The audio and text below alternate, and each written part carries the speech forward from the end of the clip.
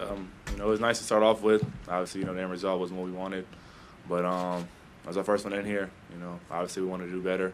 But um, believe we're back on Sunday, and hopefully, you know, it's a lot better. Tell me about the uh, Patrick Beverley uh, incident. How did you react to that sort of like close guarding from the inbounds pass? I mean, it's basketball. He plays, you know, 94 feet. That's what he's supposed to do. Um, you know, he's a good defender. I just try to do what I can to get the offense going. How would you go uh, you played overall tonight? What was the biggest thing that you learned? I mean, we got blown out, so I didn't play too well. Um, you know, I liked the shots we were getting, but um, obviously, you know, a lot of us were missing tonight, and that kind of affected our defense. So um, just going forward, you know, we just got to separate offense from defense. You know, if our offense is not going, our defense has to carry us.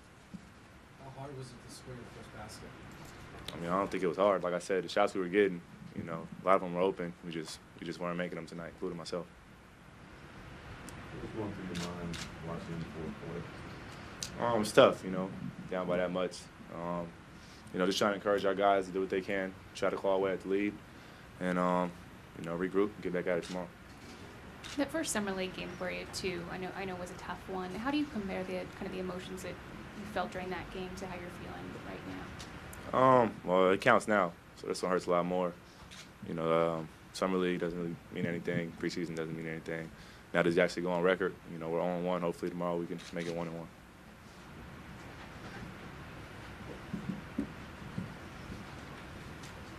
Was there anything in particular you noticed about maybe the pace of the game or something that struck you about your first NBA game?